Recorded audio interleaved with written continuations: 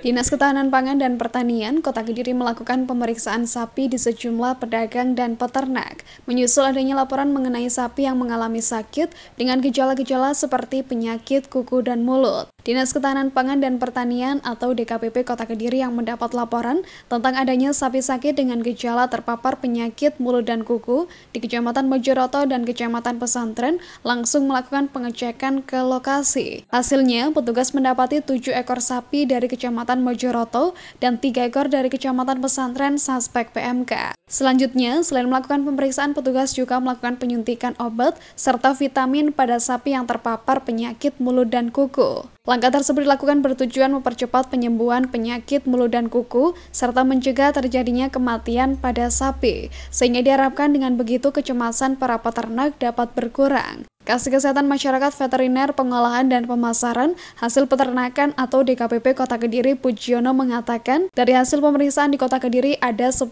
ekor sapi yang suspek PMK dengan ciri tidak mau makan, berliur, dan nafsu geraknya sudah turun atau aktivitasnya menurun. Setelah dilakukan pengecekan secara fisik menunjukkan adanya luka-luka di sekitar mulut.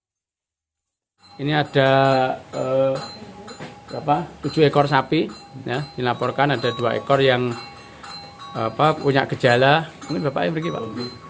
Punya gejala untuk uh, tidak mau makan kemudian ngiler kemudian nafsu gerakannya sudah turun atau aktivitasnya menurun.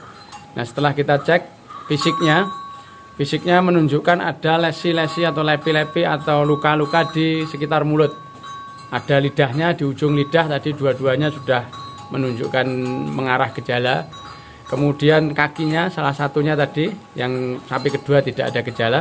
Tapi salah satunya menunjukkan gejala eh, apa ada perlukaan.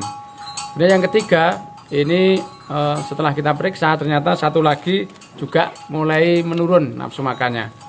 Jadi yang tiga ekor kita eh, beri pengobatan uh, pengobatan simptomatis. Nah ini pemeriksaannya kita dari gejala klinis mengarah ke uh, gejala penyakit mulut dan kuku di Kota Kediri.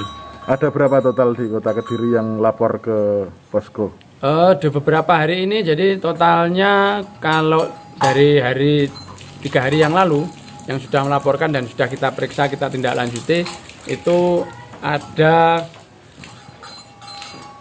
totalnya 10 hari ini ya yang gejalanya mirip PMK tetapi secara khusus untuk penegakan diagnosa hari kemarin sudah didatangi dari lab e, Jawa Timur untuk diperiksa sampelnya.